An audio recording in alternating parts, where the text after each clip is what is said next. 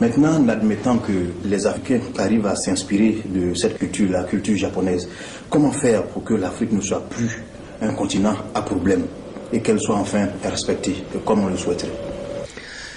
Eh bien, vous savez, on a coutume de dire que l'Amérique est riche parce que les Américains sont riches. Mais on a aussi coutume de dire que l'Afrique est riche, mais que les Africains sont pauvres et même très pauvres. Alors, pourquoi une telle contradiction concernant l'Afrique?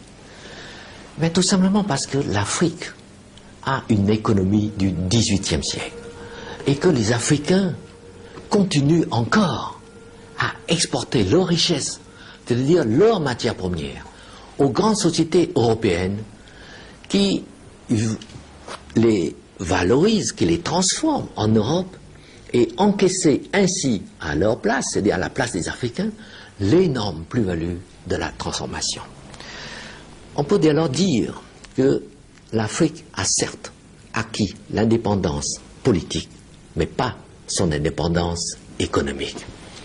Et pour cela, prenons l'exemple du café. Vous savez que le cours du café vert, fixé à Londres, a baissé de 80% en 8 ans. Alors vous savez aussi qu'aucune entreprise au monde ne peut supporter une telle baisse de prix sans tomber en faillite. Or, c'est ce qui se passe en Côte d'Ivoire et en Afrique. Pire, sur le prix actuel de 370 francs CAF par kilo, CAF ça veut dire coût, assurance et fret, il faut encore enlever les frais des intermédiaires et de transport maritime.